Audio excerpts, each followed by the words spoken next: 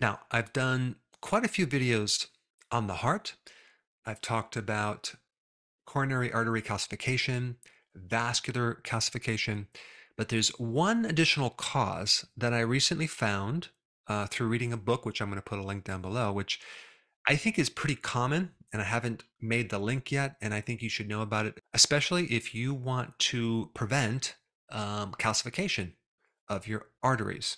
And this additional cause is called lactic acidosis. Now, when I mention lactic acidosis or maybe lactic acid, you might associate that with um, kind of a burning you feel after you exercise in your muscles, right? You might think of that, but lactic acidosis goes way beyond that. Lactic acidosis occurs as a byproduct of glucose metabolism, and both lactic acidosis and lactate in your blood are associated with a lot of additional problems, okay, like sudden death from heart attack, thrombosis, which means you're clotting in your arteries, panic attacks, autonomic nervous system dysfunction, which could include a lot of other problems. Uh, even like in uh, bipolar, schizophrenia, sepsis, which is a systemic infection, certain arrhythmia problems like ventricular fibrillation, and liver disease, and definitely diabetes, and even cancer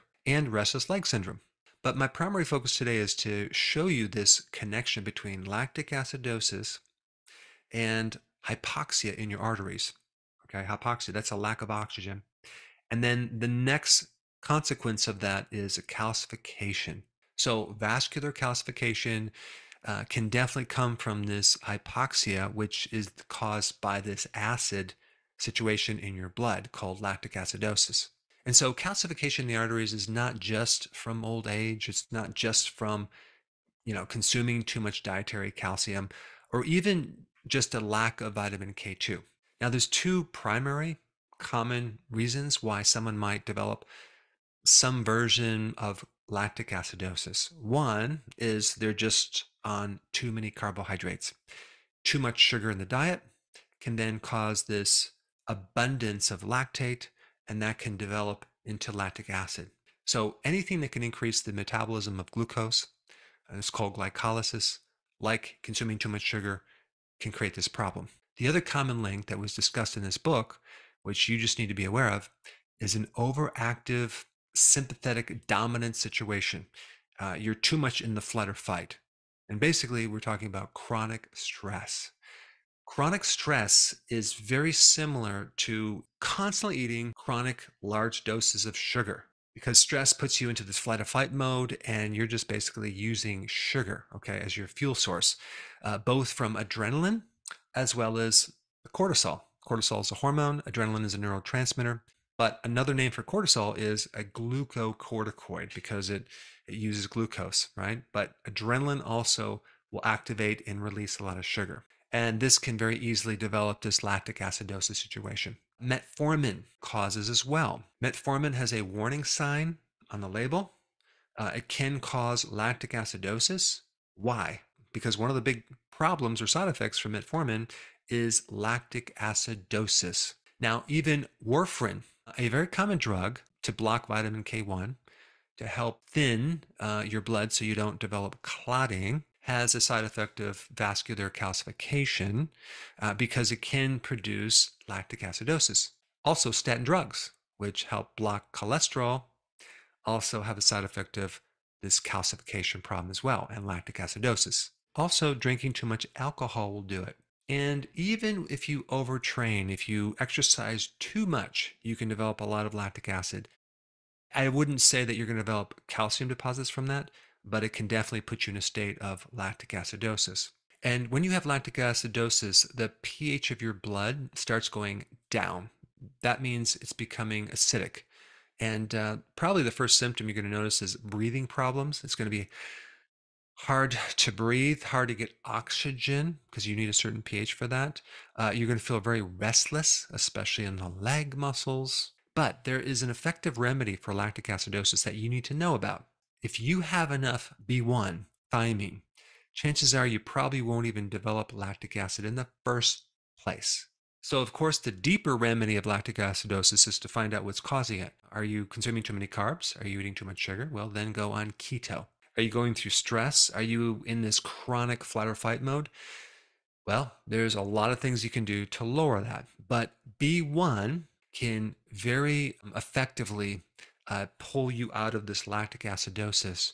And also, it, it will counter the complications from consuming high amounts of carbohydrates, as well as the complications from diabetes, as well as the side effects from being under this chronic state of sympathetic dominance or stress. B1 is the best vitamin for stress. In fact, if, I've talked about this before. When you take B1, it really helps uh, nervous agitation, uh, this buildup of energy, this restlessness. So B1 will help with that because you're actually curbing or reducing this these effects of lactic acidosis. You're going to even breathe better when you take uh, natural B1. So B1 is really good to pull someone out of anxiety and the symptoms or side effects from lactic acidosis. So B1 can actually also help you with hypoxia, which is a lack of oxygen in your in your vascular system. It can help balance out the pH. B1 has also been known to directly help inhibit uh, thrombosis or clotting. So it's really, really good for the heart. And of course, B1 is also good to inhibit this calcification buildup in the arteries.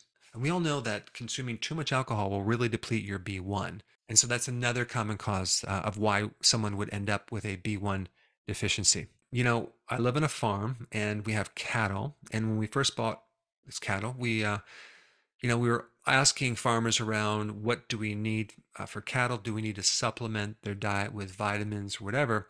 And um, many of the farmers around our area said you you should also buy uh, large amounts of uh, baking soda. And I'm like, why do you need baking soda? Oh, well, because they can develop lactic acidosis. So if you look up why a cow would develop lactic acidosis, you will find it's the side effect from consuming too many grains, okay? Too many refined carbohydrates. A cow is meant to consume grass and plants and weeds, not grains. And if a cow has lactic acidosis, they can become very depressed, uh, inactive, uh, not be around the rest of the cows. They can get diarrhea, they can get dehydration, and they can die. And unfortunately, some of these farmers just go ahead and treat these cows with uh, baking soda or some type of alkalizing agent, okay, instead of really looking at the underlying mechanism. A cow's stomach is not designed to be actually that acidic like our stomachs. It's designed to be slightly alkaline in its fermentation of grass. So, this is just another example of how grains and sugar and refined carbs are not meant to be in our diet. And number three, make sure you have enough B1, natural B1, not the synthetic thiamine, but natural B1 in your diet if you potentially could have this issue. Now, I think the next most important video for you to watch would be to learn all the underlying causes of a B1 deficiency. So that way you, you, you understand the whole picture. And I put that video up right here. Check it out.